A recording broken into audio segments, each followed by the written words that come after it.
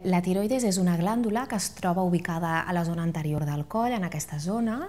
Eh, és una glàndula petiteta que pesa uns 15 a 20 grams, 20 grams en condicions normals i que està ubicada en aquesta zona anterior del coll i té una forma de papallona. Està formada per dos lòbuls, un lòbul esquerre i un lòbul dret, que estan units per una zona central que es diu isma. La funció de la glàndula tiroides és la de controlar el metabolisme de tot l'organisme i regular la funció de totes les cèl·lules del cos i de les diferents òrgans. I entre les funcions primordials de la glàndula tiroides és, per exemple, regular la temperatura de tot el cos, regular la freqüència del cor. Es podem classificar en funció eh, de diferents categories. No? Per exemple, en funció de si la tiroides està treballant més o menys, les podem classificar en hipo o hipertiroidisme.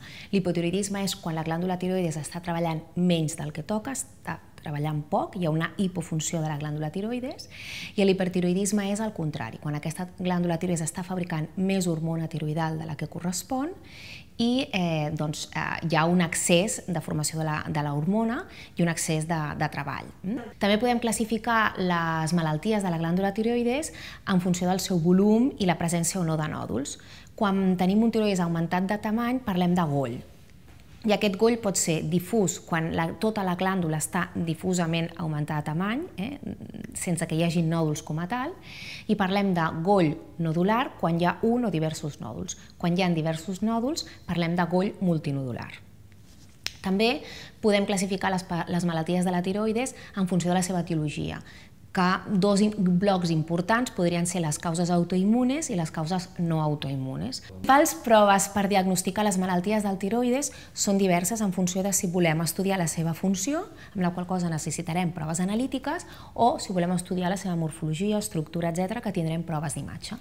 Pel que fa a les proves analítiques, en són molt útils per i necessàries per poder diferenciar entre un hipo i un hipertiroidisme o si el tiroides està funcionant correctament. A nivell de l'analítica també podem demanar anticossos, aquells anticossos que ens ajuden a saber si la causa del nostre hipo o hipertiroidisme és autoimmune. Per altra banda, tenim les proves d'imatge.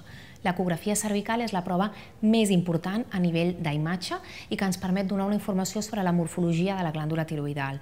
Ens permet estudiar si aquesta glàndula és gran o normal en quant a la seva mida i si té nòduls caracteritzar aquests nòduls, saber la mida dels seus nòduls i també ens permet fer, en un procediment immediatament posterior a l'ecografia, una punció del nòdul per després poder analitzar les seves cèl·lules i ajudar a saber si aquestes cèl·lules són benignes o malignes. Després tenim la gamografia tiroidal, que aquesta no ens dona una informació morfològica, sinó que ens dona una informació funcional, si aquesta glàndula tiroides està treballant de més.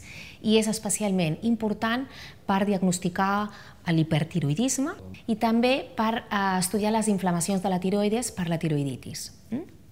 I també altres proves, funciona, altres proves eh, d'imatge que tenim són el TAC i la ressonància, que són especialment útils per veure la relació de la tiroides amb les altres estructuras del coll. Las enfermedades de la tiroides pueden tener varios tratamientos, empezando solamente con prevención, por ejemplo, si estamos pensando en la necesidad de yodo que tenemos nosotros todos y la suplementación de, con yodo que se tiene que hacer desde las edades muy tempranas hasta adultos, hasta llegar a cirugía, pasando por tratamiento medicamentoso. Depende obviamente de la etiología de la enfermedad. Los pacientes con enfermedades tiroideas en general no tienen que seguir un estilo de vida distinto del de la población general. Sin embargo, si estamos delante de un paciente que viene de una zona de déficit de yodo, donde no se ha realizado una suplementación correcta del yodo en la sal, por la sal yodada o en, el agua o en el pan, entonces sí que recomendamos una suplementación oral con yodo.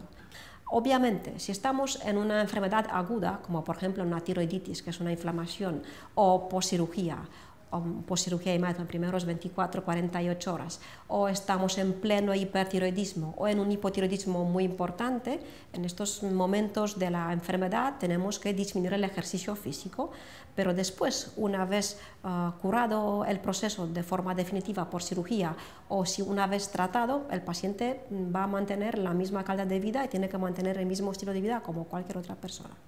A un paciente que le acaban de diagnosticar una enfermedad de tiroides, en primer lugar le diría tranquilidad, porque la gran mayoría de enfermedades tiroideas son benignas. Hay muy pocas enfermedades malignas en el tiroides y también en este caso la muerte en el tiroides es mucho menos agresiva que en otros, en otros tejidos. Y en segundo lugar, le diría que igual si ahora en el pleno proceso nota muchos síntomas, que esto solamente es, es un ruido mm, transitorio, que una vez diagnosticado y tratado se va a encontrar bien y que va a poder co- conseguir mantener su calidad de vida como antes de la enfermedad tiroidea.